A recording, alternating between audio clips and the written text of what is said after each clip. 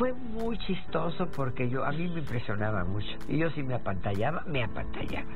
Pero me hice muy Silvia Pinal tuvo que ser hospitalizada de urgencia. Quédate hasta el final para que no te pierdas los detalles y descubras de qué se trata esta preocupante noticia.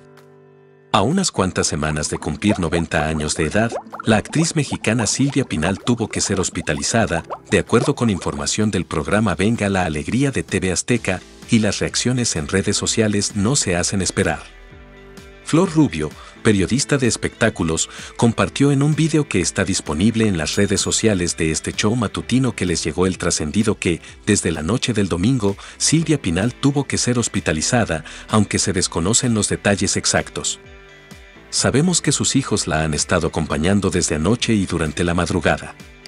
Al parecer se trata de un problema de presión arterial, estamos tratando de hablar con la familia para tener la confirmación de esta información y lo único que queremos es que doña Silvia esté bien y que logre recuperarse, expresó Flor Rubio. Por su parte, el periodista Horacio Villalobos recordó que justamente ayer Alejandra Guzmán había compartido una foto junto a la actriz mexicana en su cuenta oficial de Instagram en donde disfrutaban de un lindo momento en familia.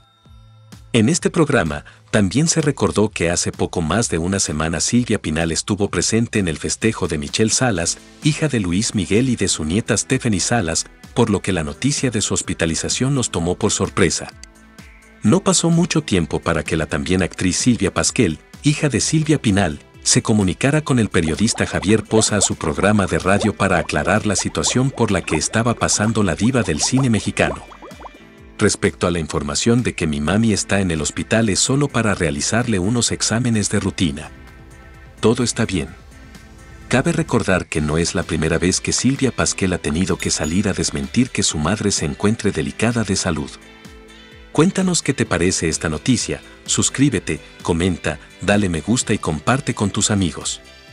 Nos encontramos luego con más noticias. Hasta entonces.